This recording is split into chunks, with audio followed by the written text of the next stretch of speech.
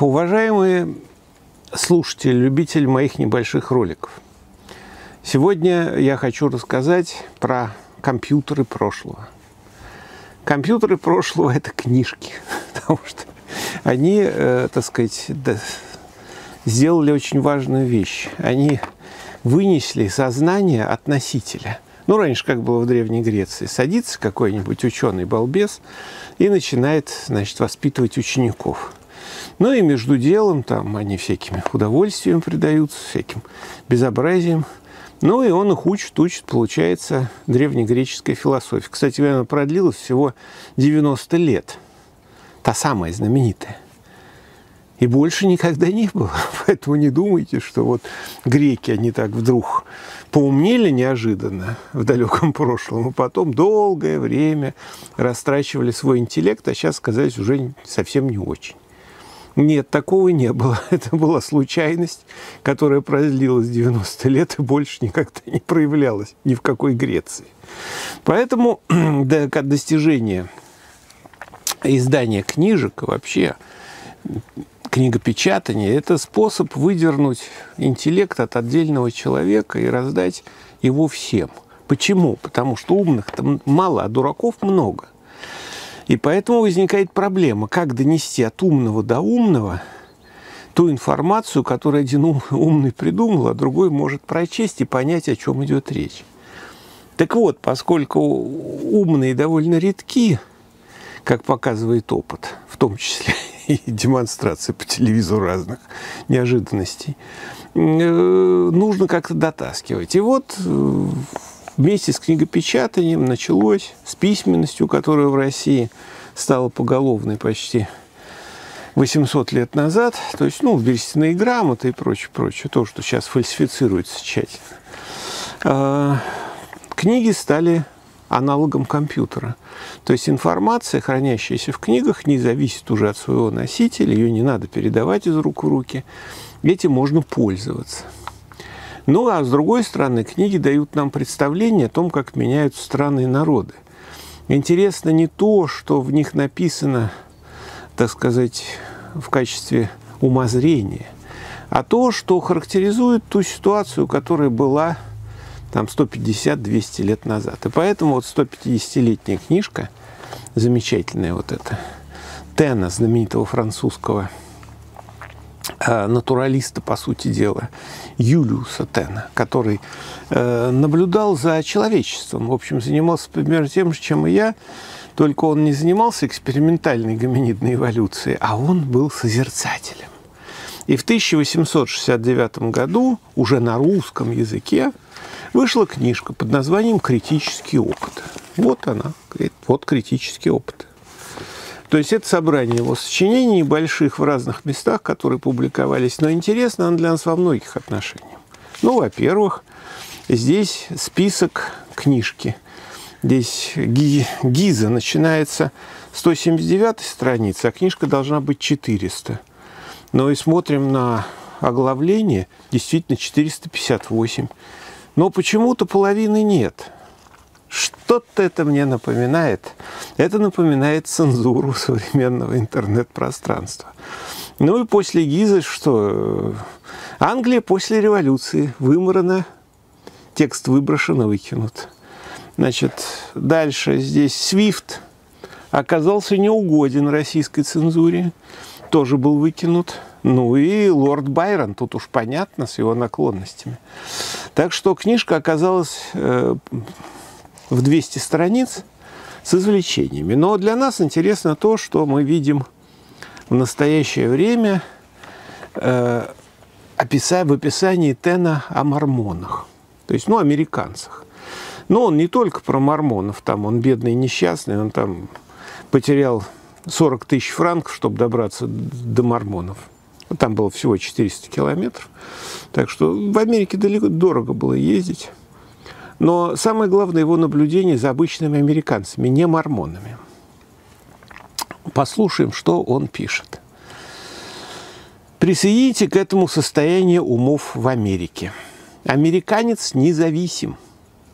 Всякий плотник считает себя столь же ученым, столь же способным судить, как и любой историк, критик, философ и теолог по профессии.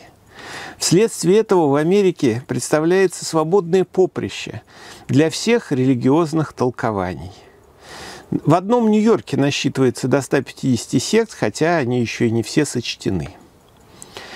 В этой расе, имеется в виду американцы, существует известная доля мистического безумия. Вам не напоминает современный Марвел фильм? Мне кажется, очень похоже. Торговцы, плантаторы, самые положительные деловые люди, в совершенстве изучившие искусство размножать доллары, все устраивают собрания, где они проповедуют, молятся, плачут, чувствуют прикосновение духа, исповедуют публично свои грехи и с криками и гримасами. Вот такое замечательное описание Америки, полностью совпадающее с сегодняшним Голливудом, с теми нравами, которые царят в их обществе, и с тем, как они организовали интернет. Собственно говоря, об этом и идет сегодня речь. В чем проблема? Проблема в том, что интернет – это идеальный способ управления людьми. Почему? Потому что вы тыкаете, там есть ответы на все вопросы.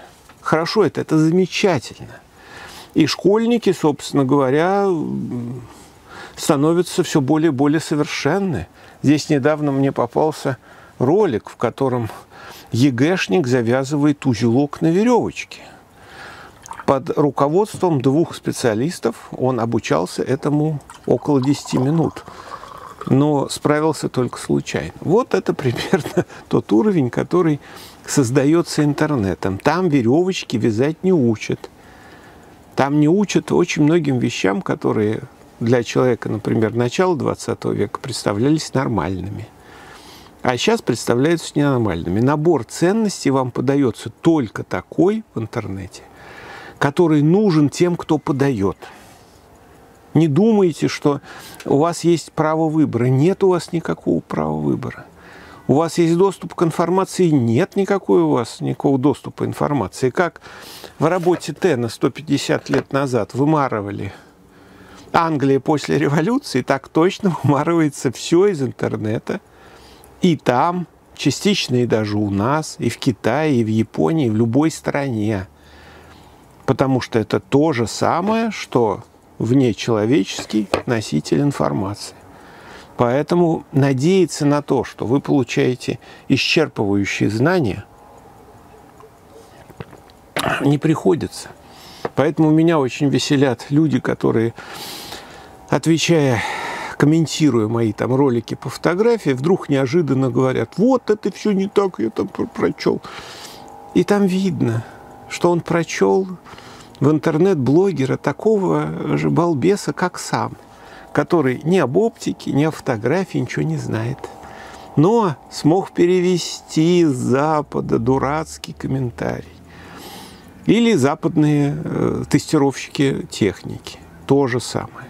У меня есть много начинающих фотографов, хотя уже зрелые мужики, которые говорят, ну, смотрите, вот там Джон Билл условный. Он показывает, какая плохая камера Leica, какая хорошая камера Canon. Я говорю, ребятки, а вы видели эти, сравнивали кадры?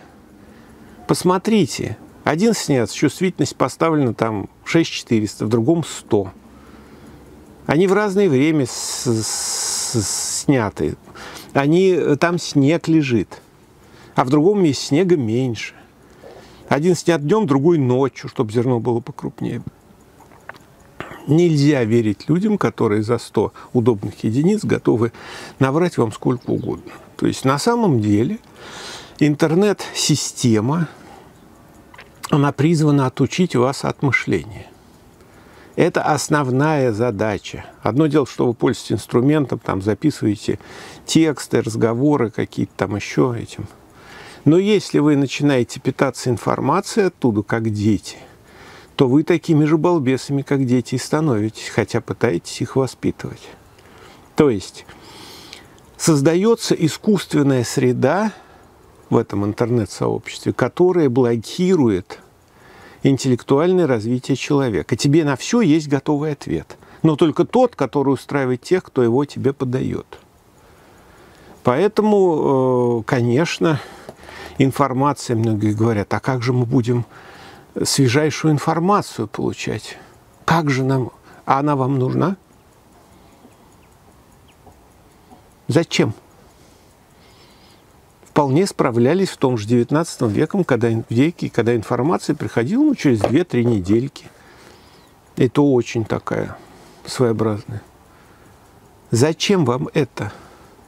Вам создают, создают иллюзию обезьяньей причастности к неким процессам. Для того, для того, чтобы вас развести и обмануть, больше ни для чего. Думать, кто-то заинтересован, чтобы вы там, например, хорошо понимали, куда деваются деньги, выделяемые госбюджетом, например, для пенсионеров. Да нет, конечно. Многие начинают догадываться, когда видят дворцы пенсионного фонда.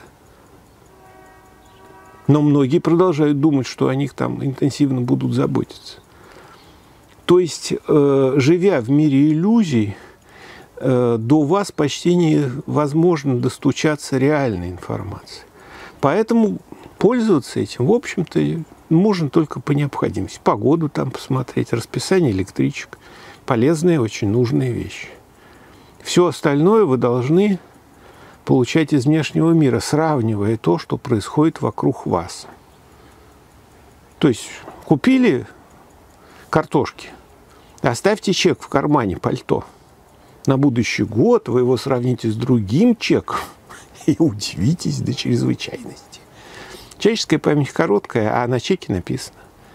Ну и так за что не возьмись. То есть объективный мир, существующий вокруг вас – очень часто подменяется вот на эту латунную лабуду, которая формирует ваше сознание и те иллюзии, которые позволяют вами пользоваться, как щеткой для ботинок, очень быстро.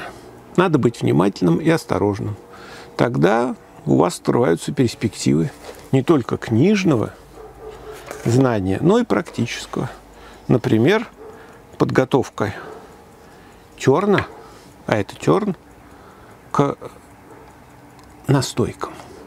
Чрезвычайно полезная и ценная ягода. Но некоторые, кто себя плохо ведет, вы знаете, те оказываются в терновом венце. Поэтому будьте осторожны и внимательны к тому, что вам навязывают через общедоступные сети. На этом до свидания.